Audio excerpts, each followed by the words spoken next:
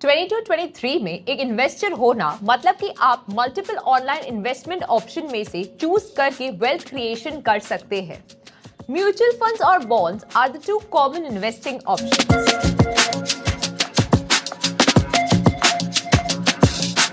hi guys welcome to Dhan आज के video में हम डिस्कस करेंगे about the major differences between mutual funds and bonds और आपके फाइनेंशियल गोल्स के लिए कौन सा बेहतर है।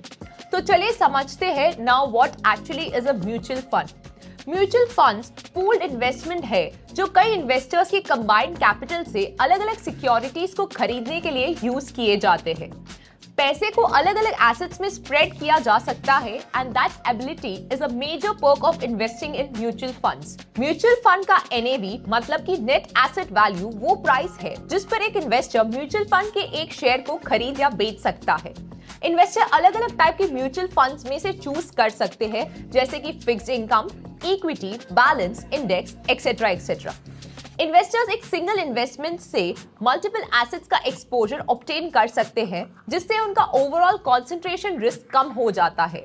Not to forget the professional management that's involve in the daily operations of mutual fund professional fund managers he mutual fund की देखभाल करते हैं अपने नॉलेज और एक्सपीरियंस का यूज़ करके फंड के इन्वेस्टमेंट ऑब्जेक्टिव के अनुसार इन्वेस्टमेंट डिसीजंस लेते हैं। As a result mutual fund में इन्वेस्टमेंट करने पर एक फ़ी लगती है। अगर वो म्यूचुअल फंड सिक्योरिटीज को खरीदने और बेचने में काफ़ी एक्टिव है तो मैनेजमेंट फ़ी जिसे एक्सपेंस रेशियो के रूप में जाना जाता है, वो हाई रहता है।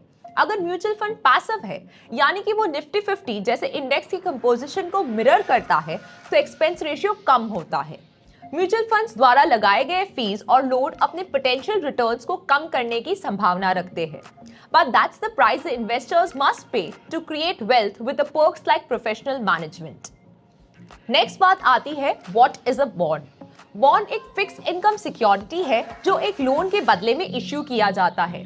इस प्रोसेस में एक लेंडर और एक बोरर शामिल होते हैं, जिसमें बोरर कोई भी लीगल एंटिटी हो सकता है including the government a corporation और any other institution bond holder को बॉन्ड इश्यूअर से मेच्योरिटी पर इंटरेस्ट और प्रिंसिपल पेमेंट्स रिसीव होते हैं।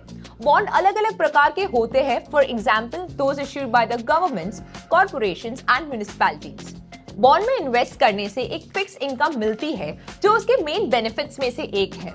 बॉन्ड होल्डर को रेगुलर बेसिस पे इंटरेस्ट रिसीव होता है, जो एक रिलायबल सोर्स ऑफ़ इनकम बन सकता है। इस प्रकार इक्विटी ट्रेडिंग के कंपैरिजन में कम रिस्क होने के कारण जो लोग अपने वेल्थ को प्रोटेक्ट करना चाहते हैं, उन लोगों के लिए बॉन्ड इन्वेस्टिंग प्रेफरेबल हो सकता है। ये सही है कि बॉन्ड एक रिलेटिवली स्टेबल इन्वेस्टमेंट है, लेकिन ये रिस्क फ्री भी नहीं है। इंटरेस्ट रेट्स और क्रेडिट वर्दिनेस में होने वाले चेंजेस जैसे कई फैक्टर्स बॉन्ड के प्राइसेस को अफेक्ट कर सकते हैं। Bonds can carry the risk of the issuer defaulting on the bond जिसे डिफ़ॉल्ट रिस्क के नाम से भी जाना जाता है। हालाँकि अच्छी रेटिंग वाले बॉन्ड में इन्वेस्ट करके इसे अवॉइड किया जा सकता है। म्यूचुअल फंड्स और बॉन्ड्स, दो कॉमन इन्वेस्टमेंट वहीकल्स है, जिसमें हर एक के अपने अपने फ़ायदे और नुकसान हैं। हालाँकि दोनों इन्वेस्टमेंट से प्रॉफिट जनरेट किया जा सकता है, लेकिन इनमें सिग्निफिकेंट डिस्टिंक्शन होते हैं। सो म्यूचुअल फंड्स और bonds what is best for you इस सवाल का जवाब पर्सन टू पर्सन डिफर कर सकता है। म्यूचुअल फंड्स और बॉन्ड्स के बीच चूज़ करते वक्त कई फैक्टर्स ध्यान में रखने चाहिए।